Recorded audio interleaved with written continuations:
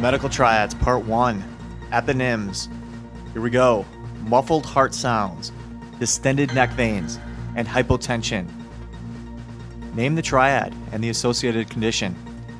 Muffled heart sounds, distended neck veins, and hypotension. Whose triad is this? Beck's triad, B E C K. And you can see this with what? Cardiac tamponade, right? Right upper quadrant pain, fever, and jaundice. Name the triad and the associated condition. Right upper quadrant pain, fever, jaundice. Yes, this is Charcot's triad. And you might see this with acute cholangitis. Now, the other two things that'll make this Reynolds pentad include what? Right, hypotension and altered mental status. And that is Reynolds pentad when you have all five of those. All right, stasis, hypercoagulability, and endothelial damage. So, name the triad and the significance of this triad stasis, hypercoagulability, and endothelial damage.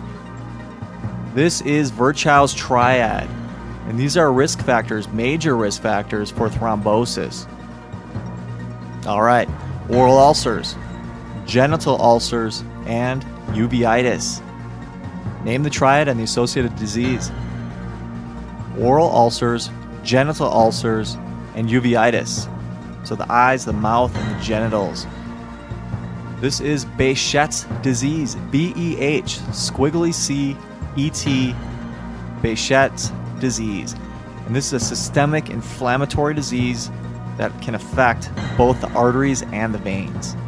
All right, next interstitial keratitis, notched incisors, and eighth nerve deafness. Name the triad and the associated condition. Some other buzzwords saber shins and saddle nose deformity.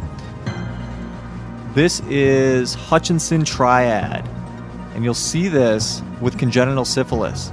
So, interstitial keratitis, notched incisors, and eighth nerve deafness make up the triad. But the other things you'll commonly see are saber shins and a saddle nose deformity. Okay, name the triad and associated condition hypertension, bradycardia, and irregular respirations and or a narrow pulse pressure. So there's actually four things here: hypertension and bradycardia and then irregular respirations or sometimes narrow pulse pressure. This is the Cushing triad. This represents what? Yes, increased intracranial pressure. Now, to remember this, just think the opposite of sepsis. So, in sepsis, you're tachy, you have a wide pulse pressure, you're hypotensive. With the Cushing triad, you have hypertension, bradycardia, and a narrow pulse pressure. You also have you can get irregular respirations. These can be fast or slow. Okay, now this is indicative can be indicative of either ischemia or compression of arterioles that you get with intra or increased intracranial pressure. If you see this, it's bad news. So the Cushing reflex confers a very high probability of death.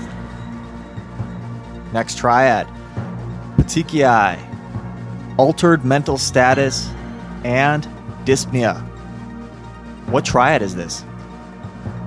And what is the associated phenomenon?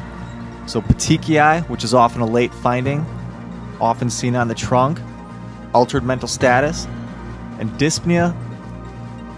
Yes, this is Bergman's triad. And the associated phenomenon, fat emboli. And this often occurs after long bone fractures, up to 24 to 72 hours after injury, and early correction and immobilization is used to prevent this. Okay? So low molecular weight heparin does not work. It's all about early correction and immobilization of a long bone fracture. Okay? And that's Bergman's triad, petechiae, which is a late finding on the trunk usually, altered mental status, and dyspnea. Setting fires, animal cruelty, and bedwetting. also known as enuresis. Yes, this is actually a triad, a medical triad, a famous one. So, setting fires, animal cruelty, and bedwetting. Name the triad and the clinical disorder. This is Macdonald triad of sociopathy. Sociopathy. So, sociopaths will often report a history of these events in their childhood. Thus, they are believed to be a predictor of future violence. Interesting, right? Now, let's say you see a kid that has set fire to an animal and pees on it to put the fire out. That's pathognomonic. All right, next triad. Sam, oh shoot, nasal polyposis, aspirin allergy, and asthma. I almost gave this away. So nasal polyposis, an aspirin allergy, and asthma.